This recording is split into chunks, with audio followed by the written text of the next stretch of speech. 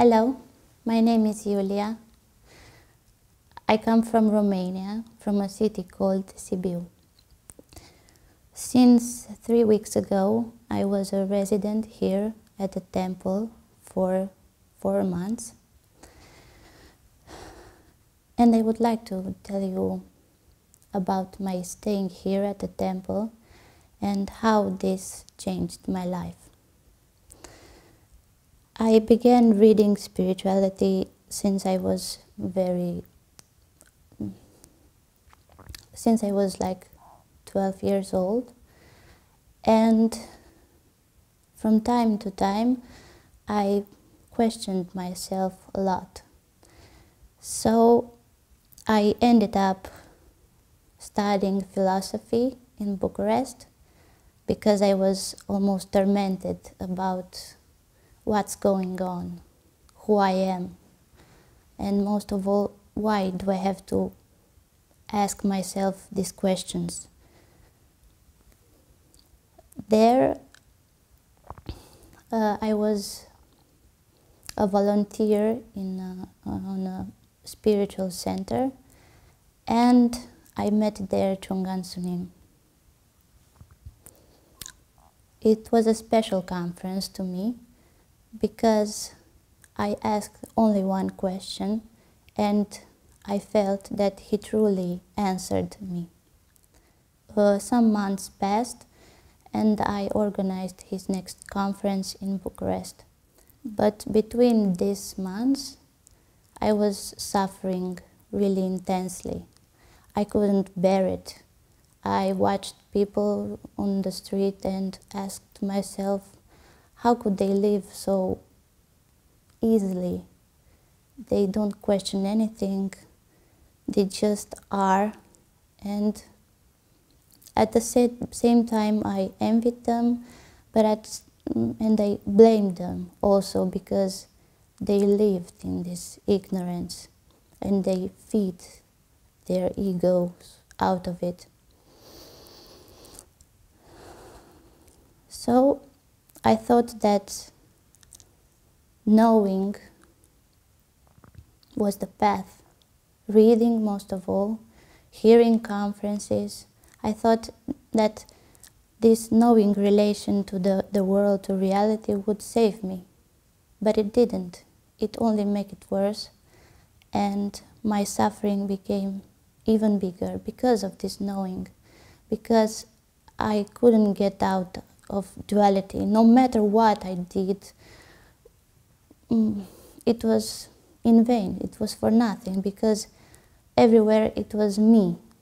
Everywhere I faced, I tried to speak with other people, I only see myself. So I had enough.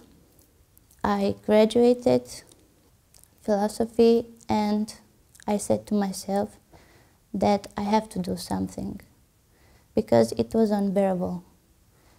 And I created the possibility to come at the temple no matter what my parents said or thought. I left away my, my life, my friends, everybody. So it was a, a tough decision, but I wanted this. So I arrived at the temple and my suffering was bigger and bigger every day. I remember that I was crying and during chanting I was crying and I couldn't abstain myself and I was embarrassing myself so but it passed because because of the practice. Only only practice helps. No matter what this is my my opinion and I'm speaking out of my own experience no matter what we know, what, how much we read, who, what person do we encounter, and we find out some more, we only attach these teachings to our ego because we make sense of it, we try to apply it, but it's the same I who applies these teachings. So it doesn't work. It, it works only for, for a shorter short period, and then you still are sinking into your own self. So I practiced, but even the practice was a bitch, so to say. Yeah, I didn't like it because I tried and I tried. So I was meditating and my, my mind went away. So I said, Oh, come on, this is not working. And I was very angry every day. I was so angry. I was angry because I came at the temple. What am I doing here? This is not good for me. I, it doesn't it doesn't work. It doesn't happen anything. What should I do? So I, I returned to, to the moment and blaming myself every day that I'm not being present. And then a surprise came. Uh, I became the kitchen master at the temple and I had even greater duties. So I was more occupied. But that doesn't mean that I really didn't have time for thinking because my thinking only grew because I have to do this and that and what I, I, I came here to cook come on so now what can I say I'm happy because I was the kitchen master, because I chopped not only the vegetables, I chopped my karma with it. So I'm happy, I'm truly happy, because I stopped, I don't know, I stopped pitying myself. I don't pity myself. I don't listen to that inner voice who says this and that, and I I don't have to respond to that voice. It's like I'm my own judge. Who says so? Only I. So the, the answer was came out of the practice. So it's only in being because when you think you're always in duality so you either do this or that it's either bad or good so no matter what you do you are still there so it's only in that point when you are, truly are. And that's it, no matter what. But I tell you, without, without the practice, nothing good can happen, at least for me, because I suffered. I didn't have any friends. I had a bad relationship with my mother.